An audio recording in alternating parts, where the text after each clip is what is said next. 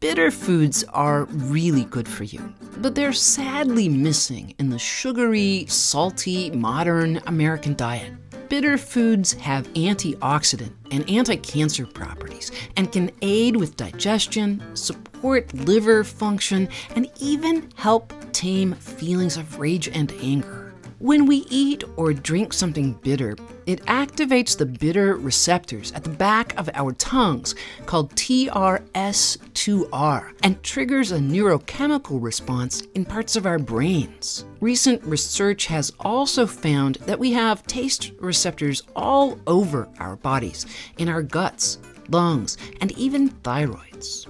From early civilization on, people have experimented with plants, often the bitter tasting roots or bark of trees and shrubs, to treat ailments or to help prevent them. Ancient Egyptians infused wine with bitter herbs and resins. The 16th century alchemist Paracelsus concocted a bitters recipe that included myrrh, aloe, and saffron.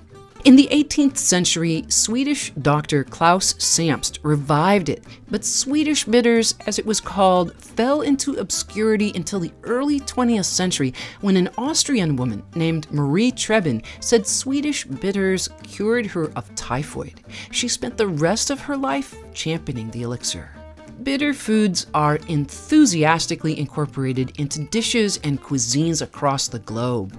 In Japan, there's even a saying Yo yakuwa kuchi ni negashi. Literally, good medicine tastes bitter in your mouth. Here are some of our favorite bitter foods. Dandelion greens are easy to grow or to forage, and they grow on every continent except Antarctica.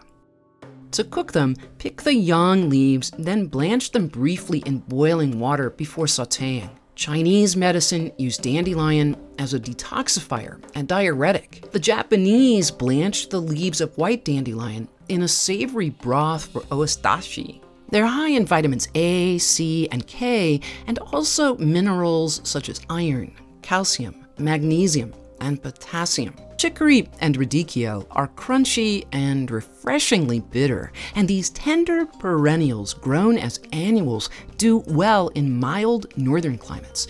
Chicory roots can be forced to develop pale, tender heads of endive, which we love to eat raw as an appetizer filled with blue cheese or vegan cheese and sliced pears. These delicious, refreshing greens are high in vitamins A, B, and C, as well as calcium and potassium. Frisee and escarole are also members of the chicory family, and people sometimes get them confused.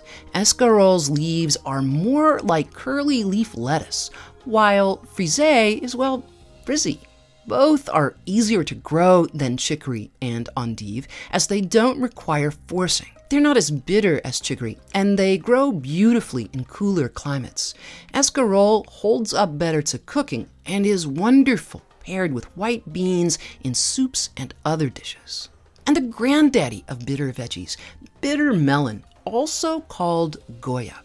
The compounds cucurbitacin, which is also present in cucumbers and melons, and momordicin lend Goya its astringent punch. They are also part of what makes it so good for you. There are many varieties of bitter melon, one of our current favorites is Junpaku Okinawan White. We love to use this mild variety in a refreshing summer drink made with ice, lime juice, and a dash of agave. But it's also amazing in stir fries. Plantain leaf can be cultivated or foraged. Either way, when harvested young, the leaves make a wonderful substitute for spinach. Plantain has a range of medicinal uses. The leaves can be made into a tea to treat coughs and bronchitis. They can also be used externally to treat stings, bites, and other skin sores. Plantain grows in a range of climates. Artichokes contain cynarin and silymarin, these phytochemicals have antioxidant properties and may lower cholesterol, control blood sugar levels, support gut health and liver function, and prevent gallstones. Artichokes are also packed with fiber, vitamins, and minerals.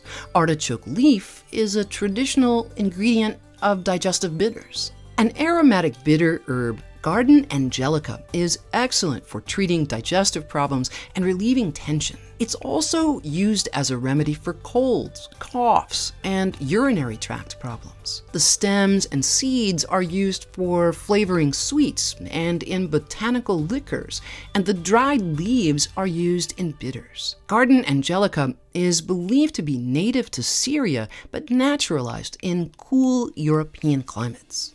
For an excellent bitter green, try Bloody Dock. This edible ornamental is often grown in beds and borders, but the tender young leaves are tasty, sauteed, or tossed into a salad.